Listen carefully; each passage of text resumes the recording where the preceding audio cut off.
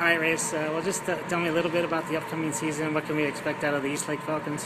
Um, new environment, new team, and we're ready to come back stronger than ever. Sure. Uh, what are the, some of the strengths of the team going to be this year? Uh, our defense for one, and our quarterback. Sure.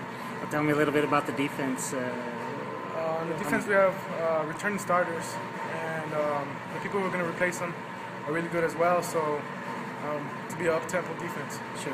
Tell me a little bit about you as a player. What can we expect out of you this season? Um, the best athlete I think I've ever been at this point, and you see some great things from me. Sure. You start have a pretty crazy schedule with El Dorado, Amarillo, uh, Oñate, up in Las Cruces. Tell me a little bit about the schedule. Are You looking forward to it? Absolutely. Our first three games hit uh, deep water real quick, so um, being in a new environment, as I said, uh, should really shape our team really well. Sounds good. All right, Reyes. Well, thank you and good luck.